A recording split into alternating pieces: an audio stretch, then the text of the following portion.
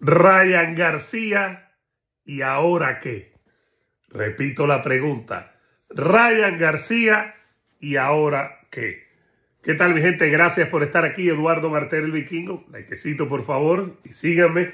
Bueno, eh, Ryan García ha ganado la pelea más grande, más grande, más grande de su carrera. Y le dio con todo a David Haney.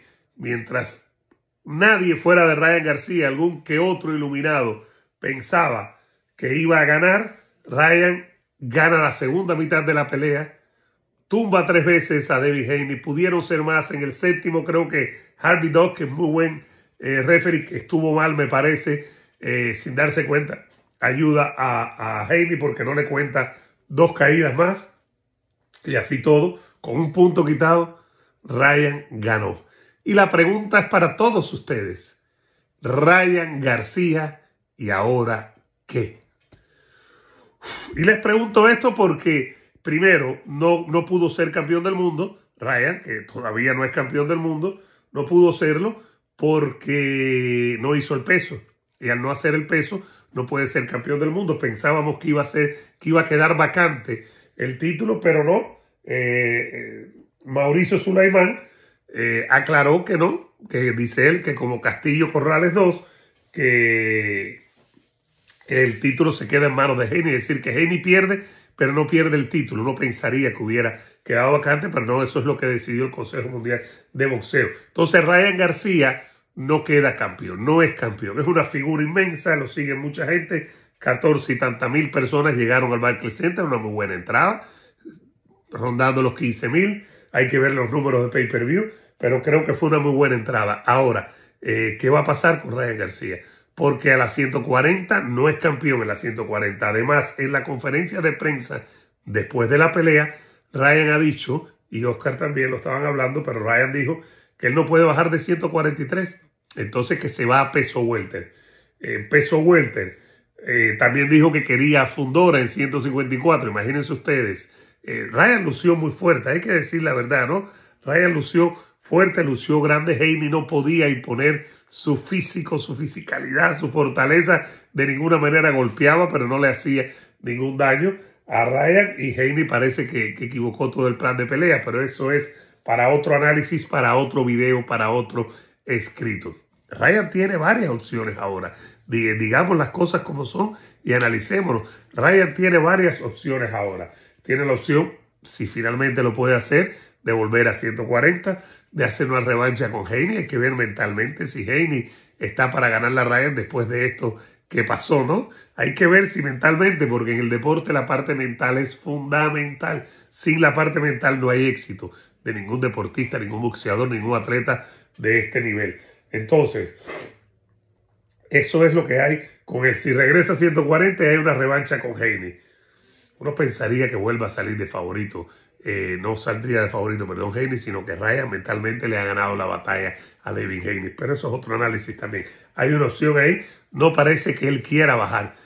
Después de no hacer el peso, que creo que es muy criticable y hay que celebrar el triunfo de Ryan, pero hay que también decir que él no se desgastó para nada para hacer el peso. Después de no hacer el peso, de ganar tanto dinero y de ganar, es complicado que Ryan quiera cumplir con, con normas, ¿no? Y el boxeo, mientras Ryan produzca dinero, le va a permitir la gran mayoría de las cosas que haga, le va a permitir eh, su manera de actuar, su manera de ser, le va a permitir que no haga el peso, el rival le va a importar tres pepinos porque piensa que le va a ganar a Ryan, como erróneamente pensó Haney y su equipo, eh, Devin Haney, y con tal de cobrar van a, a seguir hacia adelante. Y Ryan sabe que, que él produce mucho dinero, que él trae mucho dinero y sabe que le van a permitir muchísimas cosas. Entonces, eso es lo que podría pasar. 140 en 147, el campeón, ahí está Jerome Ennis.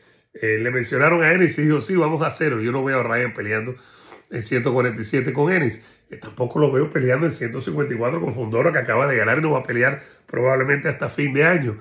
Pero eh, nunca se sabe en el boxeo. El boxeo, este deporte que tanto amamos, que tanto disfrutamos, que tantas emociones eh, nos, nos da, que tanta pasión nos levanta, el boxeo es impredecible y es un deporte imperfecto que todo lo permite, lo bueno y lo malo.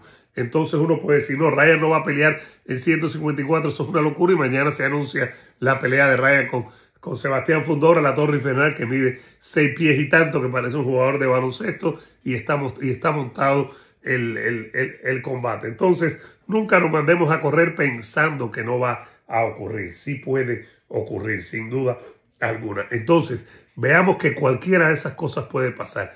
Lo que más tiene sentido, me parece a mí, es quedarse en 140. 147, el campeón es Jerome Ennis, uno de los campeones. El otro es Crawford, pero Crawford parece que va a pelear el 3 de, de agosto, pero ya en 154 con el apoyo total de, de su excelencia, el Turkish de Arabia Saudita, y va a haber mucho dinero. Entonces Crawford probablemente se vaya y deje que tres vacantes de las 147 libras por ahí se puede colar Ryan García. Ryan García le dieron un chance titular sin merecérselo, esa es la verdad, pero ya lo ganó. Entonces ahora va a tener más oportunidades todavía, Keith Wright, de que le den eh, un título. A él esta vez, fíjense, le dieron una oportunidad titular, pero Ryan se lo pasó por el arco de triunfo, literalmente. ¿Por qué se lo pasó por el arco de triunfo? Porque no hizo el peso. No tuvo ningún problema en no hacer el peso, no mostró ninguna vergüenza, no pidieron disculpas, dijeron que no, que no podía, no lo hicieron, 3.2 libras por arriba y a pelear. Y después ganaron. ¿Cómo vas a obligarlo ahora a hacer el peso y a cumplir con las normas? Se complica la situación en ese aspecto. 147 eh, puede ser, puede ser. Si es que no puede la 140, la 140, me imagino que cualquiera de los organismos fuera de la FIB, que fue la que despojó a, a Terence Crawford, la OMB, la AMB y el CMB, cualquiera de esos tres, le abriría las puertas con muchísimo gusto y con muchísimas ganas a Ryan García. Eso yo lo tengo claro, porque el boxeo es de así. Repito, es un deporte imperfecto, pero es un deporte que nos permite a nosotros eh, disfrutarlo y criticarlo a la misma vez con la misma pasión. ¿Qué puede pasar con Ryan? Establecerse en 147 es otra mega pelea. Yo no veo a Ryan peleando ahora una pelea de of Five, una pelea de calentamiento, voy a ponerme en forma, no lo veo, no lo veo. Y él dijo que pasó por muchísimas cosas, dijo que estuvo bebiendo durante toda la semana, también dijo que estaba, que había pasado por un divorcio, etcétera, etcétera, cuestiones personales. Es caos lo que hay alrededor de Ryan García, es caos, puro caos. Y en ese caos, Ryan García ha sacado provecho. En ese caos, Ryan García le ha ganado a David Haney y en ese caos, Ryan García se ha coronado en el boxeo y está arriba. Ahora mismo, le gusta o no le gusta a la gente. Yo pensaba que Haney le iba a dar una pela que le iba a ganar y que incluso lo iba a noquear y me equivoqué de cabo a rabo. Ryan García, ¿y ahora qué? Aquí vamos a estar esperándolo y cubriéndolo para todos ustedes. Si les gustó el video, por favor, regálenme un likecito aquí en YouTube, un like y suscríbanse en Facebook, compartan, compartan mucho en Facebook, por favor. También me dejan su comentario. Estamos en Instagram, arroba Vikingo Martel y donde nos reímos mucho en TikTok, arroba el Vikingo Martel. Gracias por estar aquí, los quiero mucho.